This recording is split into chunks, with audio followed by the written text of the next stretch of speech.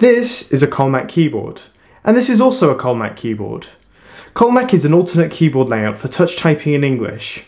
It provides a fast and comfortable typing experience, while also being easy to learn due to its similarities with QWERTY. Myself and many other people in the community see learning Colemak as a one-off investment that will improve your typing for the rest of your life. Now, while these keyboards look nice, most people who use Colemak type more on something like this. Most people who use Colemak aren't hardcore keyboard enthusiasts, but rather they're just ordinary people looking to improve their typing experience or to alleviate the symptoms of RSI or hand strain. Use of the layout is often an accessibility feature for these people who have specific needs related to typing. To type with Colemak on a basic keyboard, the layout must first be installed on the operating system. Now for a lot of people this isn't really a problem as downloads are freely available and you can install it easily with admin access.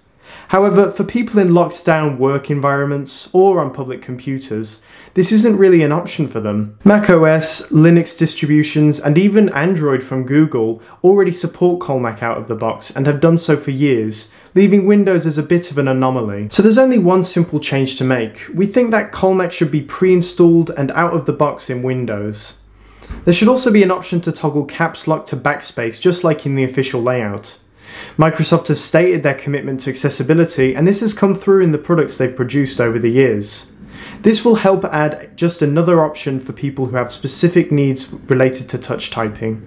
Implementing this feature would take very little time and money to develop, especially given the infrastructure to change keyboard layouts has existed in Windows for decades now. And as usage of the layout continues to grow, it's less of a question of if, but rather when. We just hope it's sooner rather than later. Thank you for watching this brief campaign video. I hope you're now encouraged to support and sign it. If you want to get involved in the humble but growing Colemak community, or you want to learn the layout for the first time, you're welcome to join the Colemak Community Discord server. Thank you.